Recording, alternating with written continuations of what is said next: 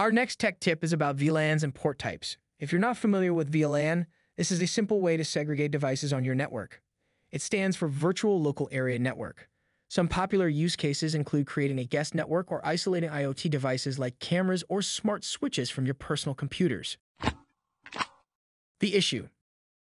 Recently, we assisted someone using VLANs on their Peplink balance router that was also connected to a Wi-Fi access point.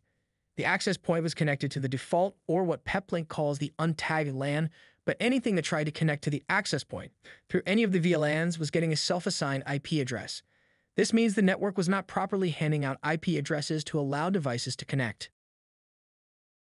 The solution. We checked the port settings on the router to see how the port types were configured. Options are either trunk or access. Ports were found to be set as access, which means only one VLAN was functioning. However, since the access point was configured with multiple SSIDs using the VLAN tagging, it caused confusion with the addressing. The port type simply needed to be changed to trunk and the VLAN then set to any. This way the access point could connect wherever it needs to. Keep this in mind when configuring multiple VLANs on your router, Wi-Fi access point, or managed Ethernet switch. To reiterate, use access if you only need to assign one VLAN per port, say if you're connecting to an unmanaged Ethernet switch or access point with one SSID.